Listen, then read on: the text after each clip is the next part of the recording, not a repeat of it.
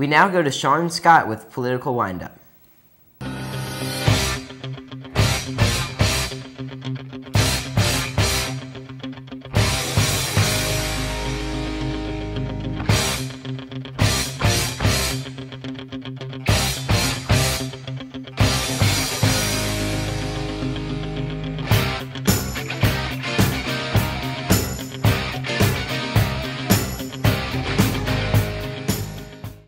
Thank you, Drew and Cat. Hi, welcome to Political Windup. I'm Scott Suzanne. And I'm Shaan Paddy, and today's topic is Obama won, Obama won, Obama won. Uh, and he won with by a huge margin in both the popular vote and the electoral vote. Paul McCain.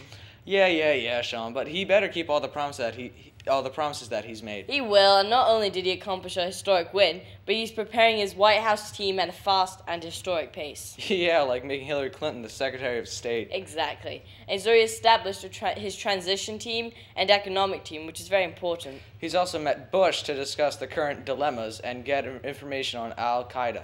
Right. Obama's got a huge burden an economy in recession, strained foreign relations, Iraq war, healthcare, preventing a depression. But I'm not too worried. Judging by his preparation for the White House, he has solutions for all these problems. And I believe in him. Yes, we can.